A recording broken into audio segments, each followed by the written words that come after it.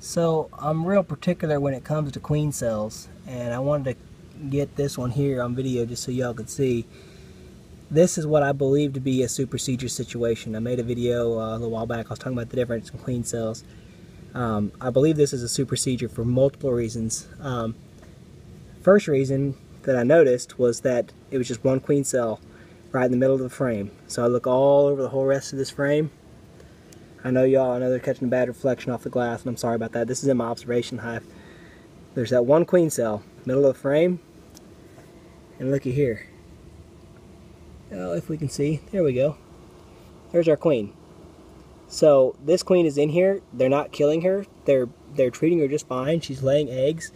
Uh, we've got a you know pretty decent little brood pattern over here. Uh, pretty decent larva. Everything in here looks fine. So there's no real reason that I can think why they should have a queen cell, but they do. They have that one queen cell.